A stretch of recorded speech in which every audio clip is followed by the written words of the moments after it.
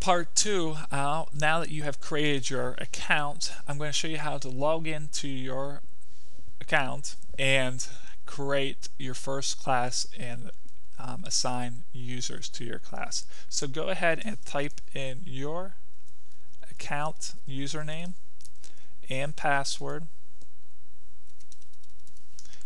then log in. Now your home page, your home page will look very similar to what is um, what I have up here. You have tabs at the top, my classes, my tests, my account. Okay, make sure that you're logged into your account by checking, make sure your name is up there at the top.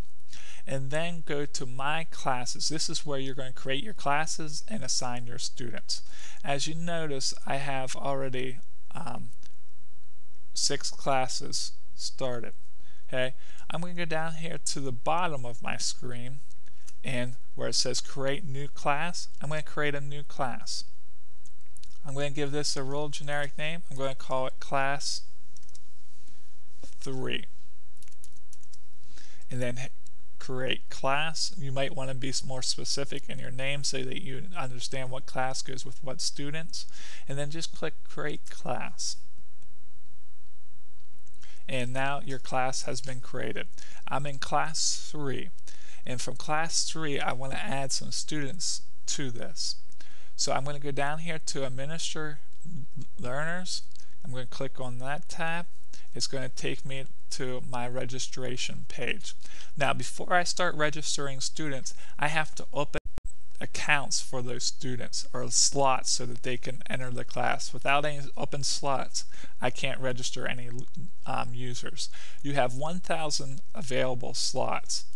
So go down here to the very bottom and you can see that I've used 881 of my slots or excuse me I have 881 slots left so I'm going to go down here and I'm going to add two slots now whenever you add the slots to your class add as many slots as, as you need for that your number of students since this is just a demonstration I'm only going to do two slots because I'm going to show you two different ways to register students so I'm going to pick two and then hit go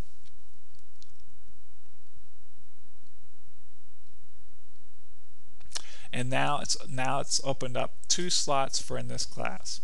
I'm going to show you two different ways to register your users. The first way is the manual way. This is a way that you can do it manually to register your students. I don't really like this way because um, it's cumbersome for me to sit here and register all of my students. Um, so I'm going to show you a second way that's um, a lot easier where the students register themselves. But the first way that you might want to choose this way is to go ahead and create a first and last name for your um, your users. Now, I give my students a fake first and last name. I give them um, our team name and I give them a number. So, for example, I'm going to register Croc 679. Okay, and that's my first name. My last name is going to be Croc679. And my learner email is going to be Croc679.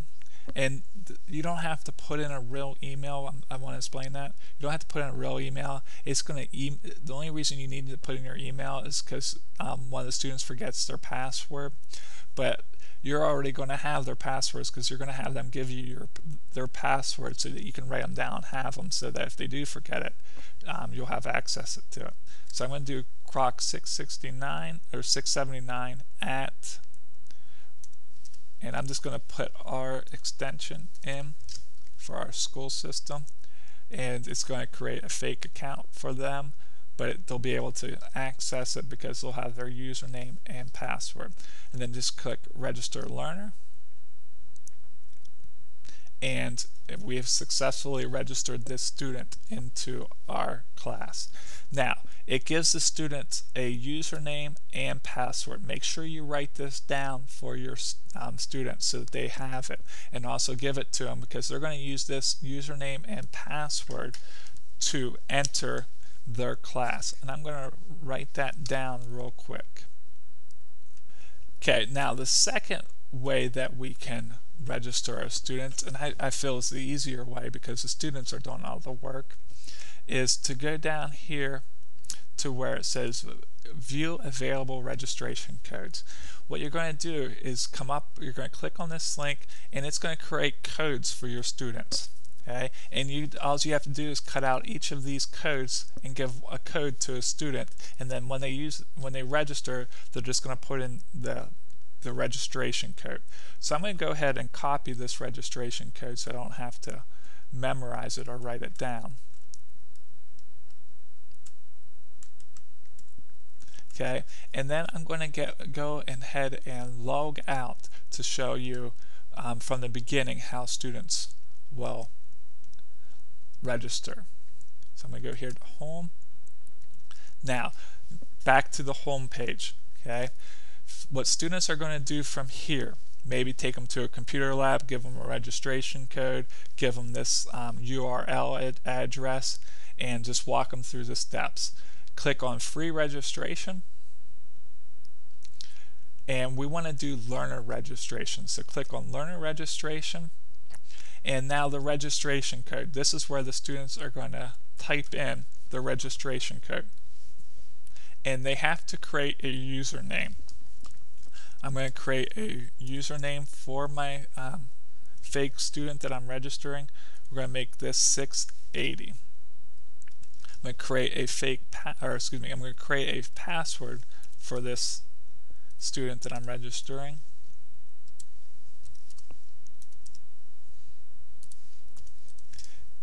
Now, my first name, I'm just going to keep it as the same thing that I've been using as my username and I'm going to keep it as my last name as well. Okay, this just helps protect the identity of your students. You really don't want to use their real names. Okay, the country, United States, um, email address. Okay, we can just create anything here. I'm just going to use the registration code. Just paste that, and I'm going to use our school extension. Okay, and then we have to retype it. Students can copy and paste the one from above if they would like. And then click register me.